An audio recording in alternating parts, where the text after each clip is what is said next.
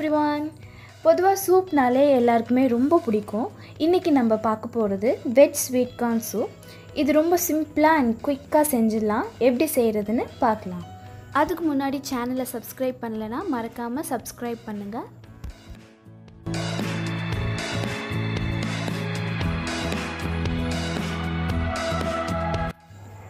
முதல்ல ஒரு பாத்திரத்தில் உருக்குன வெண்ணெய் நான் ரெண்டு டேபிள் ஸ்பூன் சேர்த்துக்கிறேன். உங்ககிட்ட வெண்ணெய் இல்லைன்னா ஆயில் கூட சேர்த்துக்கலாம். அடுத்து இது கூட பொடியாக நறுக்கின இஞ்சி ஒரு டேபிள் ஸ்பூன் பொடியாக கட் பண்ண பூண்டு ஒரு டேபிள் ஸ்பூன் பச்சை வாசனை போனோன்னே இது கூட ஒரு பச்சை மிளகா பொடியாக நறுக்குனது வெங்காயம் பொடியாக நறுக்குனது. சும்மா கொஞ்சமாக வெங்காயம் சேர்த்தா போதும். இது எல்லாமே வதங்கினோன்னே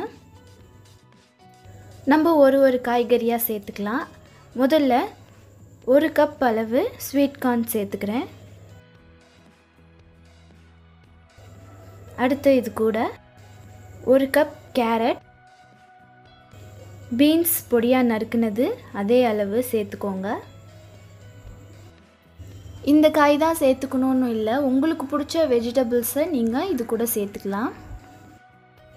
நமக்கு சூப் நல்லா க்ரீமியாக வரணுங்கிறதுக்காக இதில் ஒரு கப் அளவு ஸ்வீட்கான ஒரு மிக்சி ஜாரில் போட்டு நைஸாக தண்ணி விட்டு அரைச்சிக்கோங்க. அரைச்ச ஸ்வீட் கார்ன் பேஸ்ட்டை இது கூட சேர்த்துக்கலாம். இப்போ இதில் தண்ணி சேர்க்கணும். நீங்கள் காய்கறிலாம் தனியாக வேக வச்சு கூட செய்யலாம். அந்த தண்ணியை கூட இதில் சேர்த்துக்கலாம். அடுத்து இதில் ரெண்டு கப் அளவு தண்ணி சேர்த்துக்கலாம்.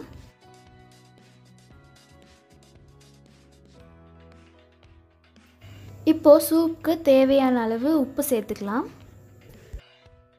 எல்லாம் சேர்த்துட்டு இது பத்து நிமிஷம் நல்லா வேகணும். சூப் திக்காகிறதுக்கு ஒரு ஸ்பூன் அளவு கார்ன்ஃப்ளவர் சோள மாவு போட்டு கொஞ்சமாக தண்ணி ஊற்றி இதை மிக்ஸ் பண்ணிக்கோங்க. அந்த கட்டிலாம் இல்லாமல் மிக்ஸ் பண்ணிக்கோங்க. இப்போ இதை ஊற்றிக்கலாம் அடுத்த சூப் ஒரு அஞ்சு நிமிஷம் நல்லா கொதிக்க விடுங்க.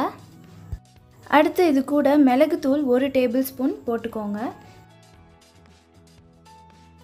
இப்போ இதை நல்லா மிக்ஸ் பண்ணிக்கலாம்.